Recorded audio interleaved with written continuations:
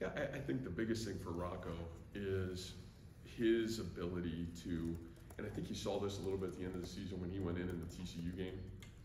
You know, they're they're his ability to take a take a step back and almost watch color. You know, it's no different than you, you see in the NFL sometimes. Those guys where they get to man, they get to watch for a little bit and then they get their opportunity to go. And I think Rocco's maturity to be able to diligently prepare, especially by the midpoint of the season where he really became the true two. I thought his preparation and process was really impressive. And, and as as anybody would, you're evaluating, man, what's the guy in front of me doing really well? What's he not doing well? If I get my opportunity, what should those things look like?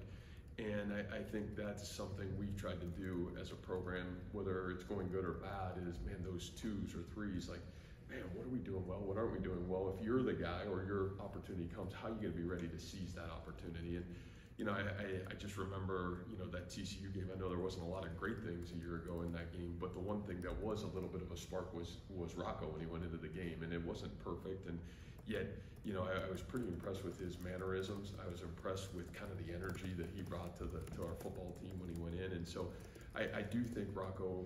And that's a credit to him because there's a lot of times, and man, we got young guys right now that are waiting their turn and sitting or not getting the bulk load of the snaps it is really hard to do that. And I think all of our egos say, man, I should be the guy into the game and don't have the humility to sit and watch and say, man, if I'm not in the game, can I still learn, grow, and get better? And I think what you've seen from him is he didn't waste last year. It wasn't just, man, I'm going to sit there and, you know, complain because I'm not the guy. I think it was, I'm going to learn, I'm going to grow, and if I get my opportunity and when I get my opportunity, I'm going to make the most of it. And that, that's really the credit to Rocco right now.